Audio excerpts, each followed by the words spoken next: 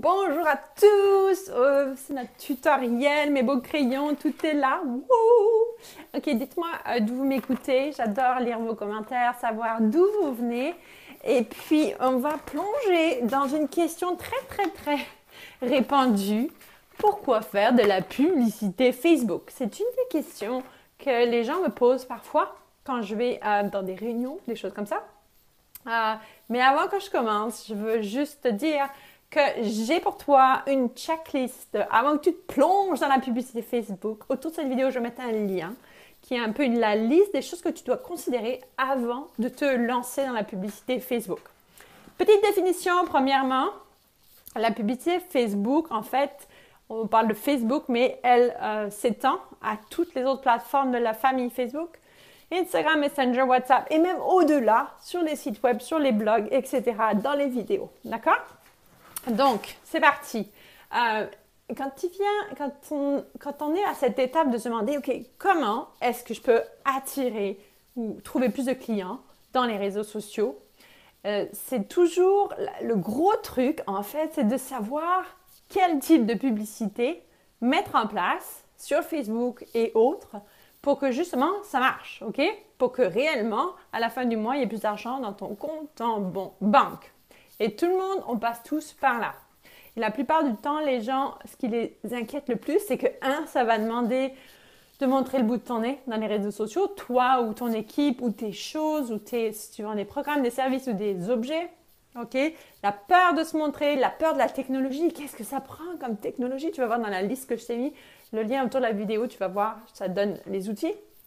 Et la peur aussi de ne pas dire les bonnes choses et de pas trop savoir à qui parler. Hein. C'est d'ailleurs la chose numéro un qu'on fait dans mon programme qui s'appelle le laboratoire ADN de ton audience et qu'on dissèque à qui on parle dans les réseaux sociaux avant de se lancer dans les publicités.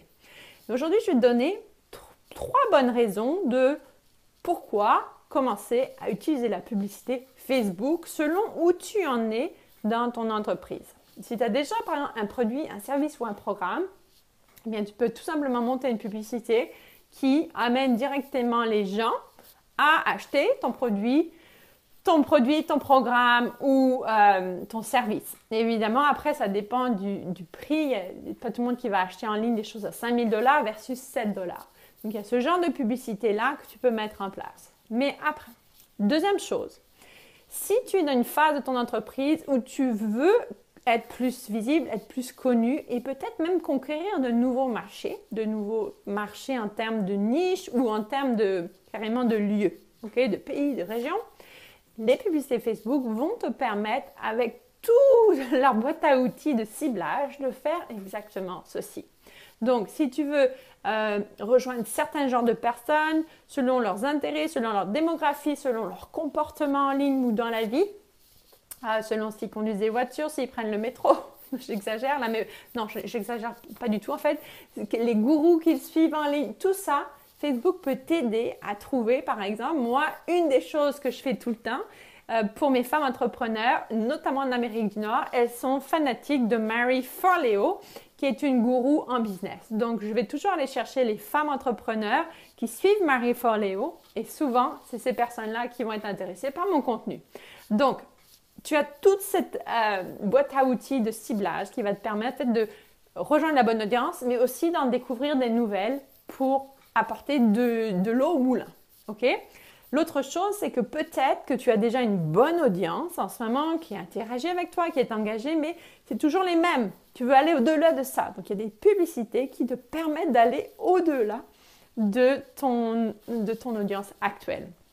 Et euh, un truc super important que chaque, que souvent, souvent j'entends chez les entrepreneurs, les femmes entrepreneurs, c'est qu'elles oublient que de monter ou d'agrandir sa liste d'emails est tout aussi important que de mettre en place des nouveaux produits. Parce que c'est vraiment là où les gens, tu les gardes et tu peux vraiment nourrir ta relation à travers les emails. Et quand tu as un nouveau produit, un nouveau programme, tu peux tout simplement les, c'est des gens qui te connaissent, c'est des gens qui te suivent, c'est des gens qui veulent savoir c'est quoi la prochaine étape, quel est le prochain truc qu'ils peuvent t'acheter?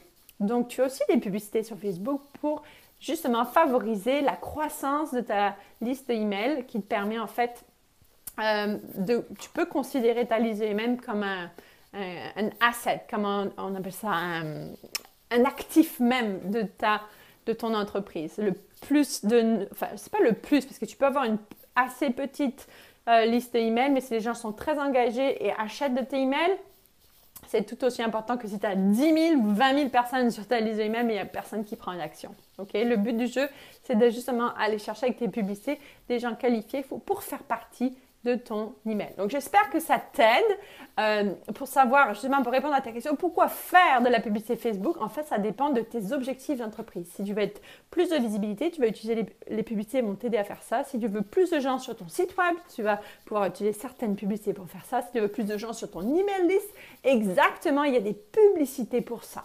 Donc j'espère que ça t'aide. N'oublie pas de trouver le lien autour de cette vidéo pour te donner euh, justement la marche à suivre, les choses à considérer avant de te lancer dans la publicité. Et si tu as des questions, tu me les poses, bien entendu. À bientôt. Ciao, ciao.